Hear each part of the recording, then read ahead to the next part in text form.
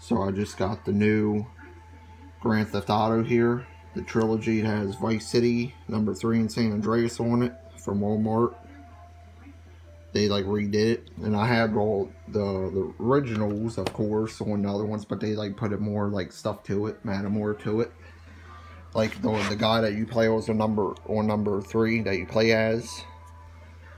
He uh they put like fuzz on his face and then on the original he's like shaved and then I just got a new PS5 game since I haven't played my PS5 for, for like how long, my new one, because I, like I said before, I need to get new PS5 games, so I got that two Demon's Souls.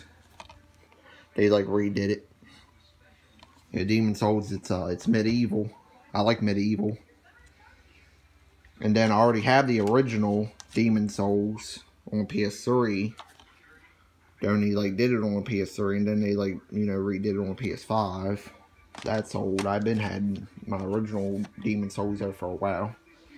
But this is what I'll be playing tonight. Demon's Souls. It's before Dark Souls. It's before the Dark Souls games. But uh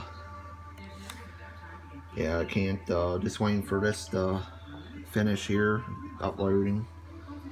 But uh So I got some new ones here to play here. Ah, shit. So, those two I got today, like I said. And then, I had to get me a candy bar. I had to get me my favorite cookies and cream bars. So, uh,